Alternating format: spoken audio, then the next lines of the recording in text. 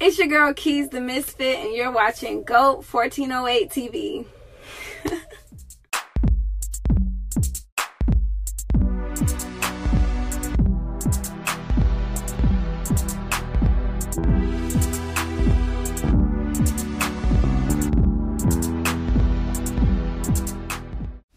Yo, what's up, world? It's your man Slim Jim Longfoot, aka the GOAT, King of America. Welcome to episode 118 of GOAT 1408 TV, my art video series where I showcase someone or something every episode. On this episode, we are working on Keez Da Misfit. She is a spoken word artist, singer, writer, and poet.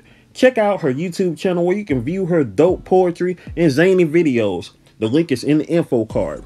This art method I am using was shown to me by my boy Johnny Quest of Johnny Quest Gaming. It is the symmetry tool used by many digital artists. It was my first time using it, and it was pretty cool, you know? I mean, I think so. Anyway, before I go, make sure you like this video, share it to your friends, comment below whether you're in the Premiere Live chat or the regular comment section. Last but not least, if you haven't already, subscribe to my channel and turn on that notification bell so you will always know when I upload another video. I'm out, y'all. One love.